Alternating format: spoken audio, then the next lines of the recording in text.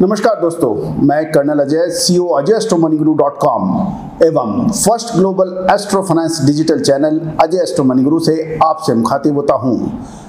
आज के इस विशेष एपिसोड में हम चर्चा करने वाले हैं शेयर बाज़ार और कम्युनिटी बाज़ार में क्या संभावना है। कौन से वो शेयर होंगे जो तेज़ी दिखाएँगे और कौन से शेयर धड़ाम से गिर जाएँगे और कौन सी वो कमोडिटीज हैं जो आज तेज़ी दिखा सकती हैं या कहाँ पर आप, कहाँ, कौन सी वो कमोडिटी होंगी जो मुनाफा वसूली की जद में आ सकती हैं।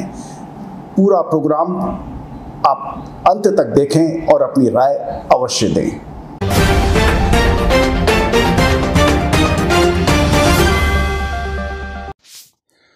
नमस्कार दोस्तों, आज 27 जनवरी सन 2021 अंक 27 का प्रतिनिधित्व करता है अंक 9 यानी मंगल, और जनवरी माह कैलेंडर ईयर का पहला माह, यानी अंक एक सूर्य, और सन 2021 का कारक अंक अंक पाँच, यानी बुध। सूर्य, मंगल और बुध का आज अद्भुत सहयोग बाजारों में देखने को मिल सकता है। हमारी पिछली भविष्यवाणी, चाहे वो सोने चांदी के ऊपर हो या फिर कच्चे तेल पर, या फिर शेयर बाज़ार, या फिर एग्रो कमोडिटीज़ पर सही साबित होती हुई देखी गई। उम्मीद है कि आपने भरपूर लाभ उठाया होगा। दोस्तों विशेष प्रोग्राम मार्केट थ्री कल के मार्केट देखना ना भूले, हर से पहले तीन बजे। कल की तैयारी आज करें तो बिल्कुल देखना ना भूलें।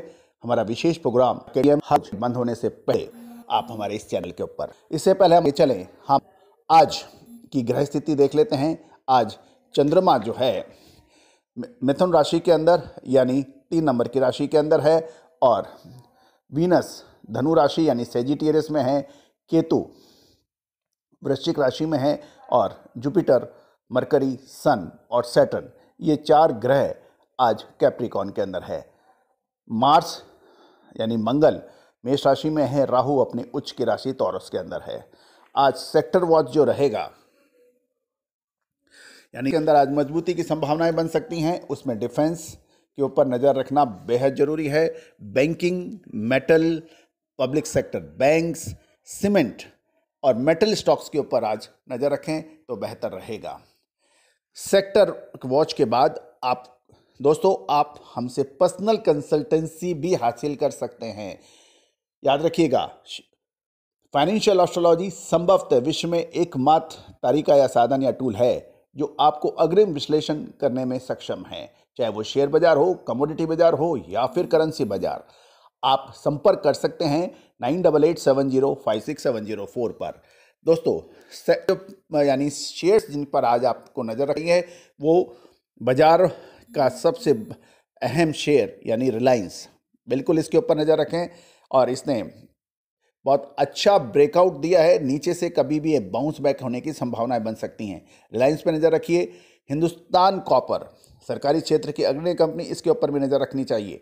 इसके ऊपर आप नज़र रखें, हिंदुस्तान कॉपर, इसके अतिरिक्त आप नज़र रखिए स्टील अथॉरिटी ऑफ़ इंडिया, यानी सरकारी क्षेत्र की स्टील की सबसे बड़ी कंपनी, इसके ऊपर भी नज़र रखनी उचित रहेगी। इंडिया सीमेंट के ऊपर भी आप नज़र रख सकते हैं। इसके अंदर भी आपको संभवतः सकारात्मक रुख की संभावनाएँ कभी भी देखने को मिल सकती है। तो एक बार पुनः सुने, Reliance, Hindustan copper, steel authority of India India cement, इनके ऊपर आपको नज़र रखनी उचित रहेगी। बैंकिंग सेक्टर्स आज के आज का सेक्टर होगा, जिसके ऊपर आपको विशेष नज़र रखनी चाहिए। दोस्तों, याद रखिएगा। हम एक बार पुनः, market three P M market बंद होने से पहले, शेयर बाज़ार बंद होने से पहले अगले दिन की तैयारी। कौन से? इस पे विशेष हमारा programme market at three P M बिल्कुल देखना ना भूलें, हर रोज तीन बजे मार्केट बंद होने से पहले। Commodity watch. कमोडिटी वॉच में क्रूड ऑयल के ऊपर नज़र रख सकते हैं। कच्चा तेल बहुत तेज़ी से नीचे गिरा। आपको याद होगा जब ये तिरपन चौपन डॉलर के आसपास चल रहा था 53 टू 54 हमने आपको बेचने की सलाह दी थी क्योंकि हम उस समय चार्ट के ऊपर ये बहुत कमज़ोर नज़र आ रहा था और हमारा जो लेवल था 51.50 यानी इक्यावन पचास डॉलर, इक्यावन डॉलर के आसपास तो इसने लो भी लगाया। उम्मीद है कि आपने इसका भरपूर लाभ उठाया होगा। लेकिन अब शॉर्ट में से थोड़ा सा बचना चाहिए कच्चे तेल में। ये हमारी अग्रिम विश्लेषण है। एग्रो कमोडिटीज़ पे हमारा विशेष प्रोग्राम देखना ना भूलें।